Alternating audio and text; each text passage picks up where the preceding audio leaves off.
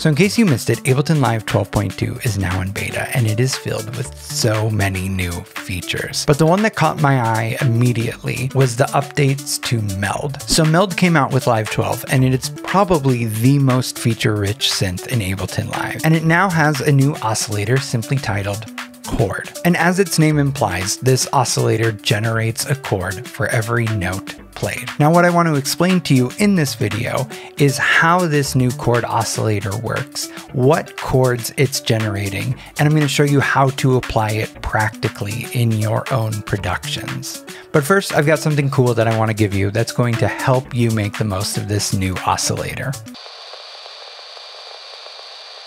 So the first thing that I set out to do when exploring this new oscillator on Meld was to figure out exactly what chord shapes it can generate. And that took a while and a lot of bouncing to audio to figure out but I figured it out. As soon as I did figure it out, I went ahead and I set up some racks with variations saved for each chord so that I didn't have to guess when producing. And I've uploaded both of these racks to my website for free so that you can grab them and you don't have to guess when using this new chord oscillator either. Both versions are identical, however, one of them names each chord shape in scale degree in case you maybe aren't the best with music theory theory, and the other one then just lists conventional chord names. I'm not listing chord quality like major or minor because it's scale aware, something we will also talk about later. But before we dive in, I wanted to make sure that you had the opportunity to go and grab those as it's going to make exploring this device so much easier for you for the rest of this video. So let me explain to you what this new chord oscillator does. So I have an instance of Meld here with just oscillator A set up. I then have this MIDI clip with just a C3. If I hit play, we hear just a C3 as a sine wave because that is what the stock default Meld basic shapes does for you. Now, if I select the drop down menu to choose my oscillator type, at the very bottom is our new chord oscillator type. Now, when I select that and hit play, we hear a full chord of sawtooth waves. Now, chord is generating four sawtooth voices for every note played. Now, where it becomes interesting is when we take into account the two macro controls for this oscillator. The first one is shape, and this changes the chord that is being played.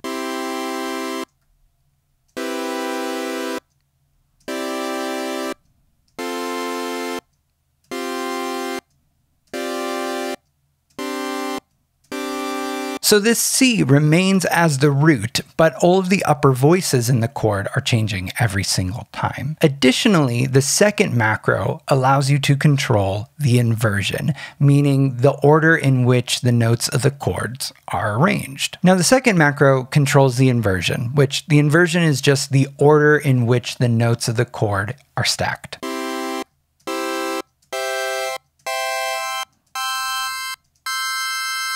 And the cool thing is that these macros will both work in real time, meaning that you can revoice that chord on the fly even during the same note.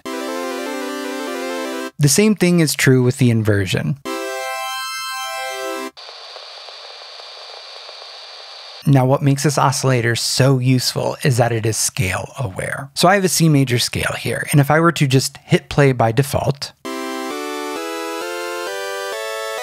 everything is a major chord. But if I go over here to the upper right corner of Meld and select Use Current Scale, which is set to C major, the chord that's being generated from the additional voices of the oscillator will be tuned to the appropriate notes for this scale. And this is true regardless of the shape being used.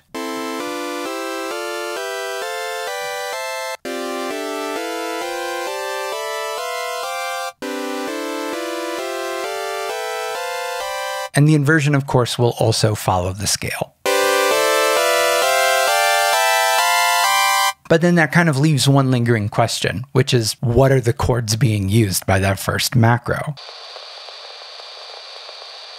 So, as far as I can tell, there are 13 chord shapes available with this oscillator. And I worked it out actually using another feature of Live 12.2. So, in case you're curious how I did it, I took an instance of Meld and I automated the position of that shape macro on the chord oscillator and lingered at every point that I heard a new chord voicing. Then from there, I pulled up the context menu and I selected bounce to new track, which is a new feature in 12.2. And then from there, I took that bounced audio and I converted harmony to new MIDI track. And that gave me the 13 chord voicings that you see here. These voicings remain consistent regardless of the quality of the chord, meaning that if it is a minor chord, we are still using all the same scale degrees. They are just going to be scale aware. For example, the second chord here is a C major seventh chord, which is C, E, G, and B. However, if the scale was set to minor, this would be C,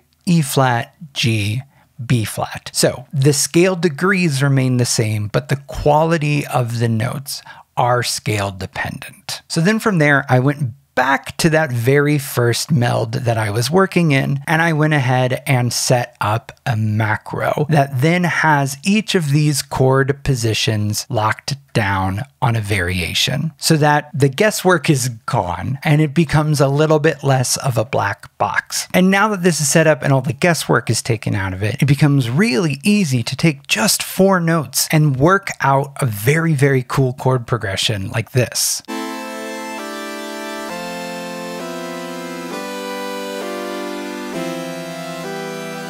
That would take so much longer to write out in MIDI than it would using this. So let's talk about how you can practically apply the chord oscillator in your productions. I think the most obvious application is to generate chord stabs. So I've got a UK garage style bass line and drum groove here.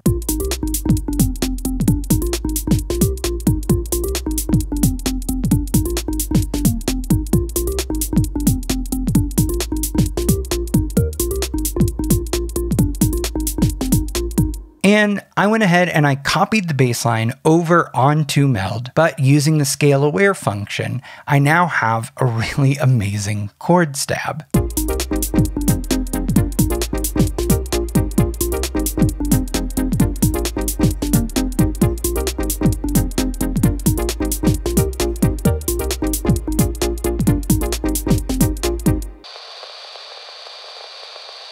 And I'm doing something really neat here that I want two point out to you. So I have both oscillators activated and set to the chord oscillator. But for oscillator B, if you'll notice down here, I have it shifted up to scale degrees. And so what that means is that it's actually generating a four note chord starting on the third scale degree relative to the note that is being played. So meaning if I hit a C, this second oscillator is actually generating a chord starting on E. Now, the cool thing is that because it's scale aware, then that just means that we can use this scale degree shifting to build more complex chords. So, really, from just a single note, I am generating a scale aware ninth chord every single time because this first oscillator is generating the root, the third, the fifth, and the seventh. And then this second oscillator is generating an instance of the third, the fifth, the seventh, and it's adding that ninth. And because I can invert the second oscillator separately, I can create a much larger open voiced chord as a result. So let's listen to just oscillator A on its own.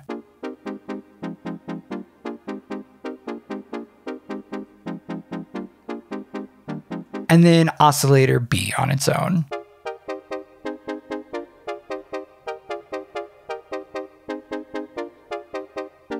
And note, if I shifted scale degrees on this, it would change the chord. If I go to five scale degrees,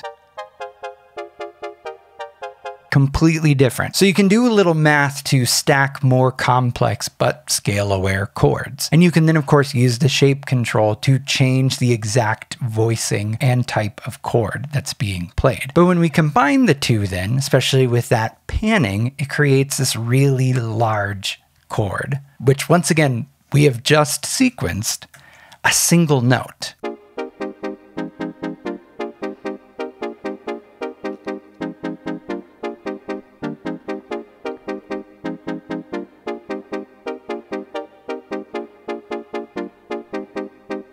So hopefully you can see now why I'm so excited about this oscillator being in Meld.